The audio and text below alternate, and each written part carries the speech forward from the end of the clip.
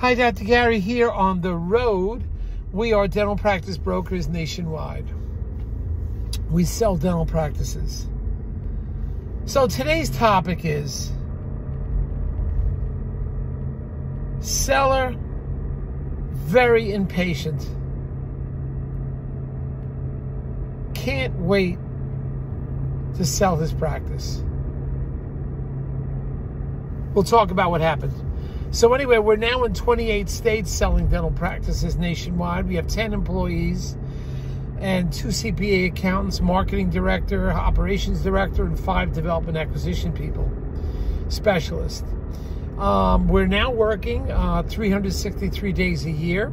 You can get us every day except Christmas and Easter. And our phones are being answered from 8 a.m. till 9 p.m. every day. Our phone number is 201 663 0935. And our website is nationwidedentalpracticebrokers.com. Also, it's dentalpracticeguide.com. It's another one of our uh, websites. So get on there and check out check us out. All the information you're about to hear today is for entertainment purposes only. It is not legal or business advice. So, also want you to know if you are uh, thinking about selling to a DSO, large corporate dentistry, we can help you. Often they will pay our commission. And on top of that, uh, if you work with us based on criteria, we can get your legal fees reimbursed upon successful closing based on certain criteria. So we can help you with that. So give us a ring on that. The market is hot for sellers right now, so jump on in. So anyway, what's today's topic? The seller is so impatient. Only been a month. And uh, seller calls me every other day. What's going on? What's going on? It takes time. It's four to eight months of seller practice. Now, this particular seller, what we did was reduce the price down drastically. You know, we're down below 50% of gross, which is uh, a very good number because most practices are, you know, 65, 70, 80%, somewhere in that range to a standard purchaser. This doctor, we brought the, the cost down, way down. We're talking, we're about 28% of gross. So it's very, you know, it's a good deal for somebody. But it still takes time. Even though it's a great deal, it still takes time to sell something. It just doesn't have happen overnight. You get the first buyer that comes in, they're motivated, then they go home, they think about it, they don't want to buy it. You know, so you've got to be patient. If there's one word you've got to exercise in the sale of a dental practice, it is patience. You don't have patience, forget it. You're going to drive yourself crazy. And you got to realize you get a deal together. Well, 70% will go through, yeah, but 30% won't.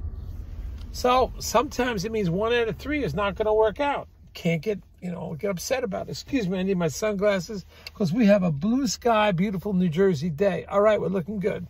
So anyway, um, how much time does it need? You know, to, to get these, every practice is different. Some practices are a hot seller, but ones out in the rural area are somewhat slower. But you get a practice in Manhattan, you know, six, seven, eight hundred thousand and above uh, you know, midtown, downtown, uptown, it's going to sell pretty fast if it's PPO fee for service. So that's what will happen. Everything takes time. You've got to exercise patience. You've got to have patience. If there's one thing people are lacking in the sale of a dental practice, it's patience. So many people are, are just nervous and they want it done their way. It's just, it's a big headache. So listen to me uh, practice being patient with something and it's going to work out better for you. All right? That is one of the key words, one of the number one words for you to remember.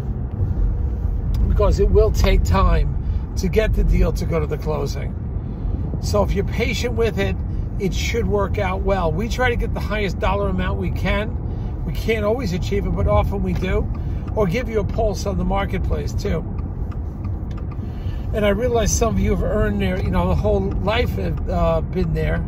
They've been working all their life at the dental practice. You would think they're worth more compensation. Well, in Canada, they get 100, 125% of the gross. And I can see what you mean, but in, in the States, it's usually that 65 to 80% unless you're selling to a DSO. So that's something you've just got to acknowledge. Patience is the word. You've got to be patient with what's going on. And once you get to that point, I think it should work out just great for you. But initially, you got to sit back and be patient and let things work its course. This one doctor, now we, when we're in a real rush, sometimes we'll reduce the price down, but that doesn't mean the buyer is ready to pay that. You know, I think we're going to bring his price down substantially, like 30% down below what it was. It was 70% below, you know, we're going to bring it way down. And that itself has brought people in. But you've got to just work in the system, go slow and easy, and it should work out good for you.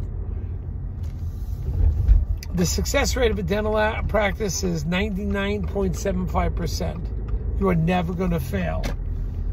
That's it. There should be no fears. You will not fail.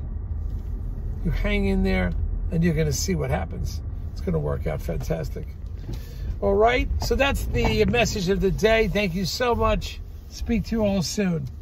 We have our new newsletter coming out really soon, and I'll let you know what that's about. Thanks. Bye.